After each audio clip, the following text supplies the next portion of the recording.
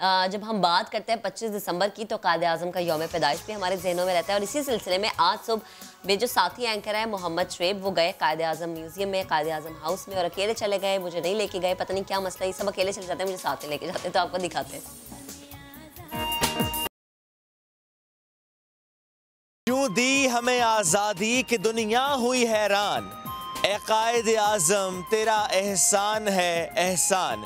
कायद आज़म जिसने हम पर एहसान किया, जिसने दुनिया का नक्शा तब्दील किया, आज उनका यौम पैदाइश है। आज उनको याद करते हैं उनको याद करते करते वहाँ पर आपको लेकर चलते हैं, जहाँ पर उनकी यादें बसती हैं। हम मौजूद हैं फ्लैग स्टाफ हाउस जिसे कायद आज़म हाउस या कायद आज़म म्यूज़ियम भी कहा जाता है। ये दो मंजिला पीले पत्थरों से बनी इमारत। यहाँ की मकीन अब नहीं बदलते, लेकिन यहाँ पर मौजूद हर चीज़ अपना तारुफ खुद कराती है। यहाँ पर यादें बसती हैं। यहाँ पर कई राज दफन हैं। यहीं पर कायद आज़म मोहम्मद अली जिन्ना ने कुछ आयाम गुजारे।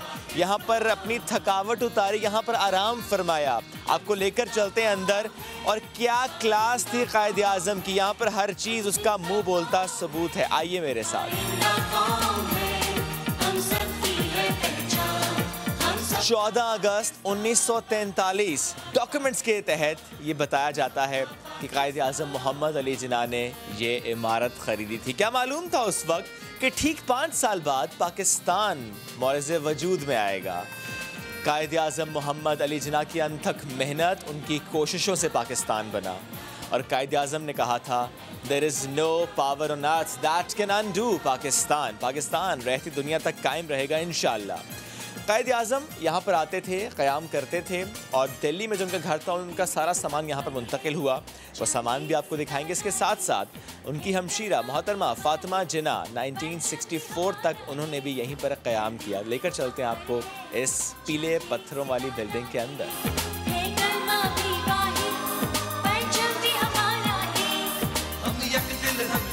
हम आ चुके हैं इस इमारत के अंदर और सबसे पहले हमने इंतखब किया कायद अज़म के स्टडी रूम में आने का। यानी कायद अज़म जिन्हें बहुत रगबत थी स्टडी से। ये स्टडी रूम यानी यहाँ पर बहुत वक्त गुजारते थे और आज भी ये तमाम जो अशिया यहाँ पर मौजूद है, जो फर्नीचर मौजूद है, इससे मुतालिक कहा जाता है कि जैसी हालत में था, इसे बिल्कुल वैसी हालत में ही यहाँ पर रखा गया है। इसका बहुत ख्याल रखा जाता है। ये है ड्राइंग रूम यहाँ पर मेहमान आते थे, खूब गपशप होती थी, खूब सारी बातें होती थी। यहाँ के दरो दीवार, यहाँ का फर्नीचर। उसके सीने में तो कई राज दफन होंगे कि कौन कौन यहाँ पर आया किस किस से मुलाकात हुई और किस किस से क्या बात हुई। ये फर्नीचर दिल्ली हाउस से यहाँ पर मुंतकिल हुआ था। अब आपको लेकर चलते हैं हम डाइनिंग एरिया उसके बाद लेकर जाएँगे आपको वहाँ पर, जहाँ एक राज दफन है। वो राज है क्या, वो जानने के लिए मेरे साथ रहिए।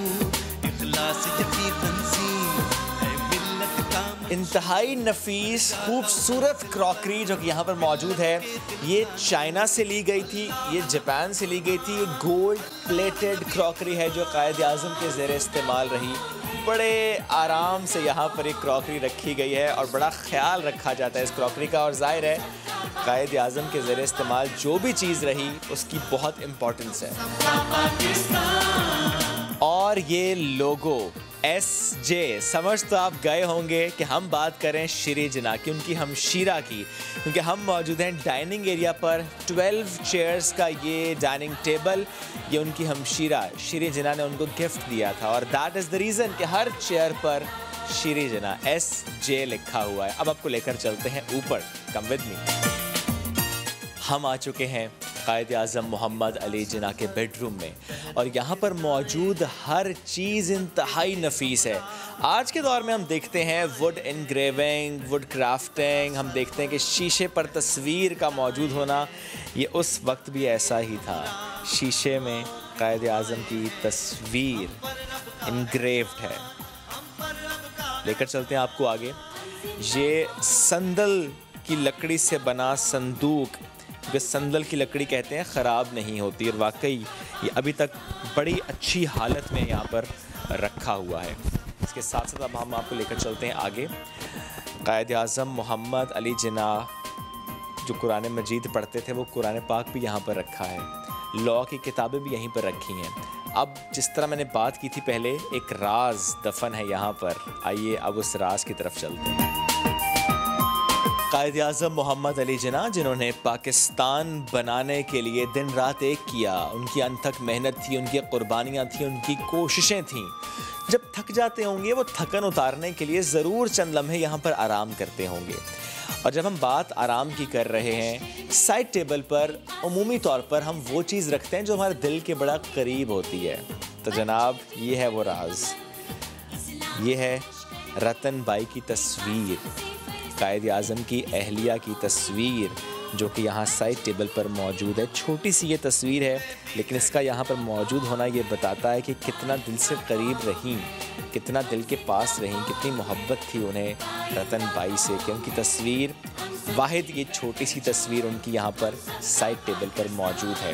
कोशिश हमने की कि आज हम आपको फ्लैग स्टाफ हाउस की सैर करा सकें, क्योंकि आज का दिन है कायद अज़म मोहम्मद अली जिना की बर्थ डेट है। दैट इज़ द रीज़न कि हम उनको याद कर रहे हैं।